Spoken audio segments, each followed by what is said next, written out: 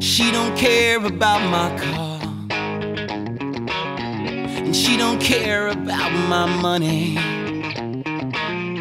And that's real good, cause I don't got a lot to spend. But if I did, it wouldn't mean nothing.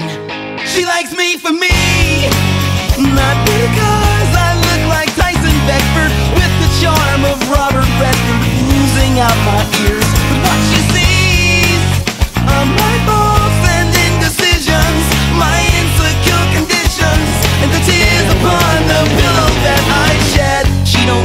care about my big screen, my collection of DVDs. Things like that just never mattered much to her.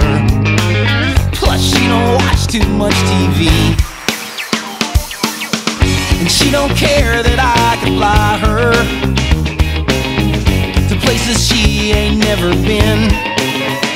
If she really wants to go, I think down she knows that all she has to say is when.